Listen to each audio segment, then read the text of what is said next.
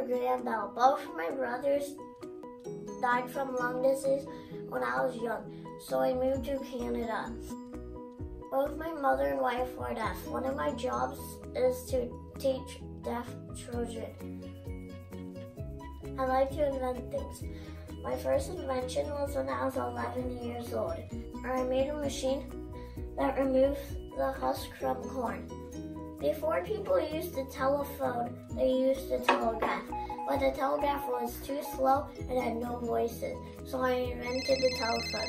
I made the first phone call on March 10, 1876. Hello? Anyone there?